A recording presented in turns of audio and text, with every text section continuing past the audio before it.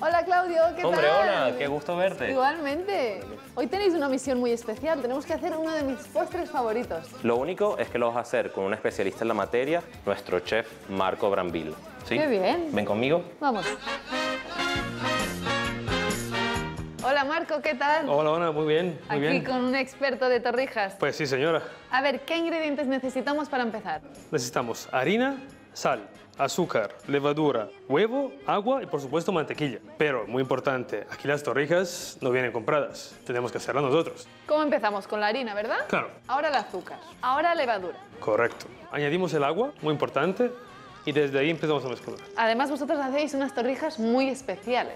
Sí, muy buenas, de muy buena calidad, usando ingredientes distintos e intentando tener recetas muy creativas. ¿De dónde vienen estas torrijas tan especiales y únicas? Es nuestra filosofía fusionar ingredientes de la tradición con ingredientes innovativos y de influencias internacionales. Venga, ahora ¿cuál es el siguiente paso? Ahora el próximo paso es cortar la masa.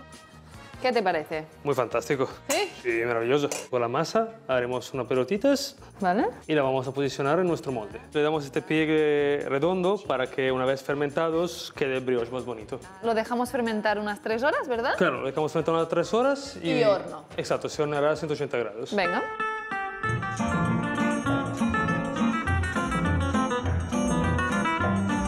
Bueno, esa forma de, de bolas, ¿cómo ha quedado de bien, no? Claro, con la fermentación la verdad que el resultado es, es muy bonito. Voy cortando dos dedos más o menos. Claro, dos rebanadas de dos dedos. La verdad es que es una receta muy fácil para hacer en casa con niños, ¿verdad? Claro, a todo el mundo le gusta. Absolutamente. de moda y se escucha en todas partes y a todas horas y a todas horas en la frase preferida. Una vez pasadas por la plancha es el turno de los toppings. Lo primero que haremos será ponerle halva, que es una preparación con sésamo, pistachos y miel. Muy nutritiva, ¿eh? Sí, sí, sí. Unas fresitas frescas de miel de dátil. Miel de dátil, qué curioso. Y como último le pondremos un toquecito de menta fresca y azúcar glass.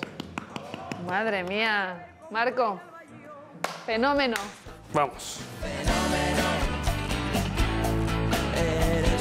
Bueno, Ana, ¿te has divertido con Marco? Me ha encantado, me lo he pasado súper bien. He aprendido una receta nueva de torrijas y Bueno, después del trabajo duro viene la mejor parte, que es probarla. me toca, ¿no? Por favor. Me lo Ana. ganado. Te lo has ganado. Gracias. Increíble. ¿Sí? ¿Quién se puede resistir a una buena torrija?